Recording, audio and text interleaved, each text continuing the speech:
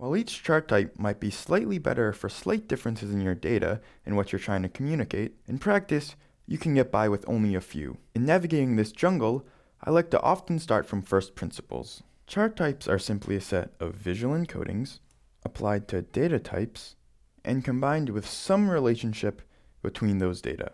For example, a scatter plot is an x-coordinate and y-coordinate with a shape, in this case a circle, as applied to two continuous variables, continuous being their data type, in which the y value is dependent on the x value, which corresponds to the relationship between them.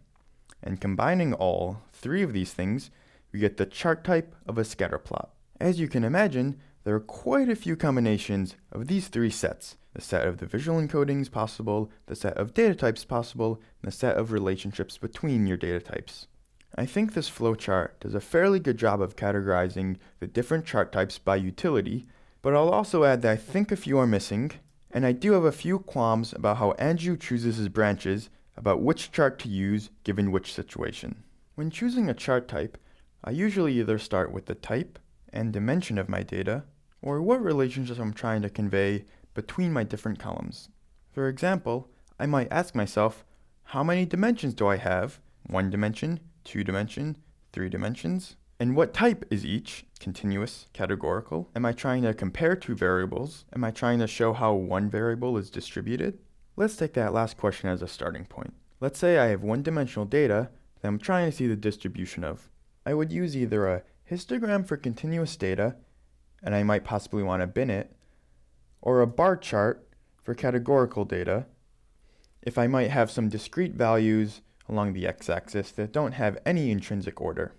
If I want to show a comparison of distributions, I'll use either a box plot or small multiples, as they represent distributions of multiple variables side by side with each other.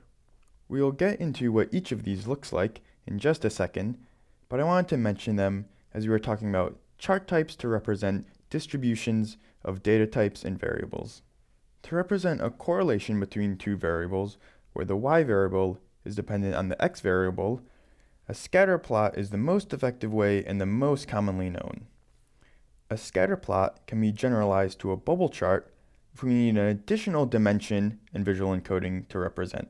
In this case, the bubble chart uses size of each of its circles to represent a third variable. A subtlety of the scatter plot is that the x variable is usually assumed to be independent and uncorrelated with the other x values. What does this mean exactly? Well, let's consider time series data. When dealing with time, every data point is implicitly dependent on all the data points that came earlier in time before it. In this situation, we want to use a line chart or a multiple line chart to represent time series data that one has intrinsic order and two has data points that are dependent on what came before them. With line charts, the fact that every point is connected shows a trend in your data and implies that every data point does have this inherent connection between them.